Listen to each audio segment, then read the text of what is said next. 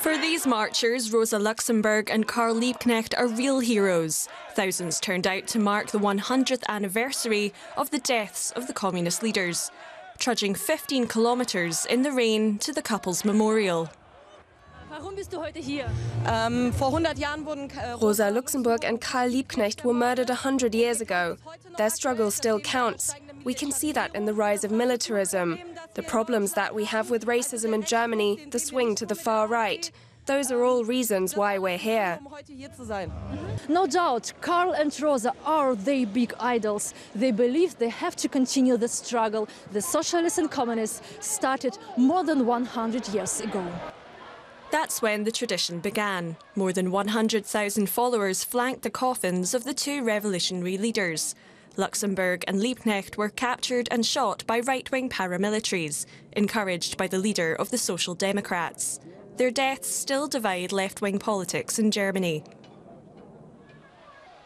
Australian Tekla Sitargev is studying physics in Berlin. He's active in left-wing student politics and an ardent admirer of Rosa Luxemburg. Rosa Luxemburg, she was an important figure because she was a revolutionary. She was also a, a, very strong feminist and one of the first women to, to find her voice and make, make a powerful stand in a time where even revolutionary discussion was dominated by men. The marchers make their way to Berlin's Central Cemetery.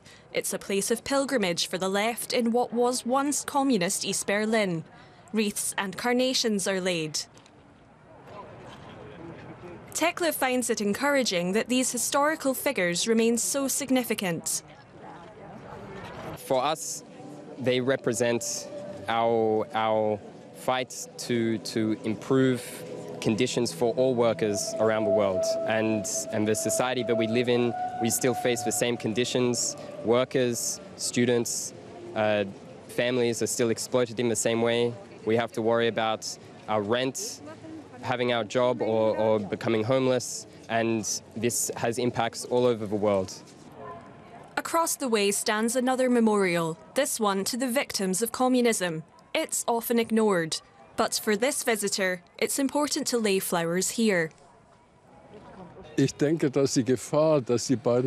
I think there's always a risk of the two of them being romanticized. It's important to remember the other side of the story. That's if we want the whole truth to be told. It's debatable whether Karl Liebknecht and Rosa Luxemburg were responsible for crimes committed later in the name of communism. But there's no doubt that the 100th anniversary of their deaths is being used for political purposes.